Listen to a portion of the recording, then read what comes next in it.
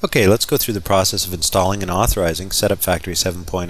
I've got my installation file on my desktop here behind. You can see I've double clicked on that and here it's started up the process. If you've received your product by electronic download, you'll have a file like that to click on.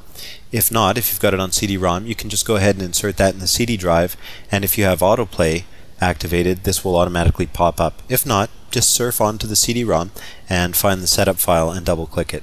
Okay, so let's go ahead and start our setup process by clicking on Next. We're going to read through this agreement and make sure that we agree to everything and understand everything. And then we're going to go ahead and click on I agree. We'll move to the next step here and this is where you've got to put in your name and your serial number. I'm going to put in the company and my name and then I'm going to go ahead and type in my serial number. Now you should receive this by email from Indigo Rose software when you purchase the product. If not, you can go ahead to support.indigorose.com and make a request and they'll get you up and going right away. If you've got the physical product, this, the serial number should be included with that product. And again, if you have questions about that, go ahead and email sales at indigorose.com. Okay, so your serial number, when you find it, should look something like this.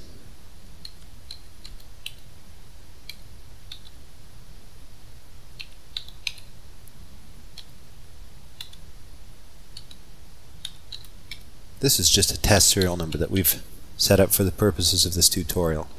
Okay, so let's go ahead and press next now that we've got our serial number typed in there. We're going to go ahead and just go with the default location. That looks good to me. And again, we'll just go with the default setting here. It's going to install a shortcut just for me, not for all the users, and that's perfect. And then it gives us a summary of the information here, which we agree to. We'll go ahead and press next and that's great. It starts the setup process here and as you can see it's lightning fast. It's going through the process really quick. It gives us a progress bar so that we know what's going on uh, at each step of the, the process and we can see the actual files being copied onto our hard drive. And it should be over about now. There we go. So that was the entire process of installation. Let's go ahead and unclick the View README file. You guys can go ahead and read that later if you want. And click the Run Setup Factory 7.0 radio box here and press finish.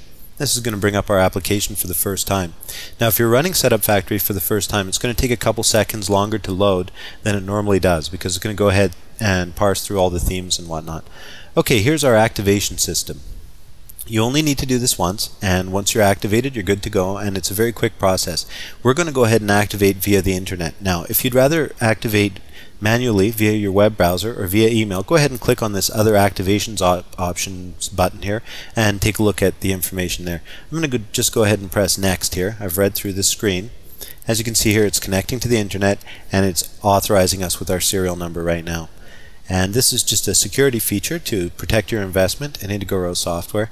And it's uh, a one-time event that takes just a couple of seconds and then you're activated and you're good to go.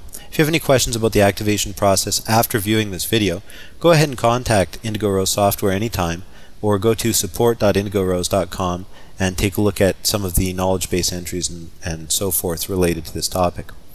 Okay, so it's been going for a second here, and this will depend on the speed of your internet connection, of course. It's going to make a, uh, a two-way connection here, but it's going to be pretty quick. Should be done in a couple of seconds here.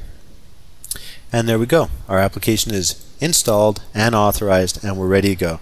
As you can see this time when the application started up it started up very fast because it didn't have to parse all the themes. And normally when you start it up it'll start up quite fast like that. We're going to go ahead and close our tip of the day window here for now and then we will go ahead and press the exit button to get rid of our application and then we'll move on to the next video lesson now that we've got our version of Setup Factory 7.0 installed and authorized.